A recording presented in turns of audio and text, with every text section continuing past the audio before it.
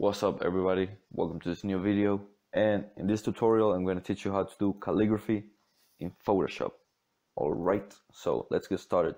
It's real easy. So this tutorial obviously works better if you have a tablet, like a graphic tablet where you can draw, but you, it can also be done with the mouse. So let's get started with this one.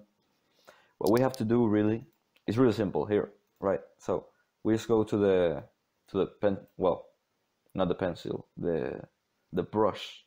We go to the brush tool and as we can see the letters if we draw something you know the letters are going to look like this but we want it to look like calligraphy style. So what we're going to do is we're just going to go over here to the settings of the pen well not the pen the the brush.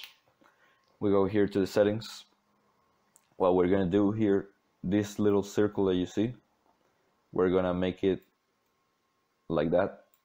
And we can put it a little bit to the side like this. And there you go. Now you have like a freaking cool thing as you can see. We can make calligraphy letters. So here I'm not an expert on this so we're gonna do like some cool letters like this with this pen. You feel me? It's like the same principle that happens in real life when you do calligraphy, right? You want to have a pen that has this shape so you can do this type of style. Because for example, I don't know man, if you if you would try to do this with a normal brush like a round brush like this it would obviously look different. Say like the R would look like this. It doesn't have the same effect, you know, so that's the thing. That's the interesting part. And yeah, man, I hope this tutorial was helpful.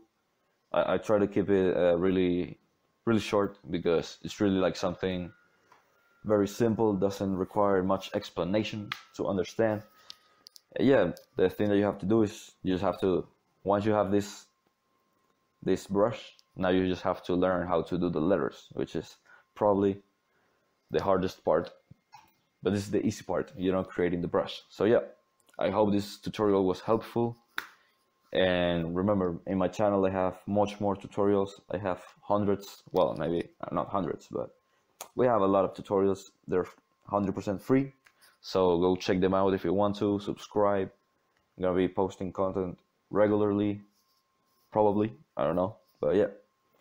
See you on the next.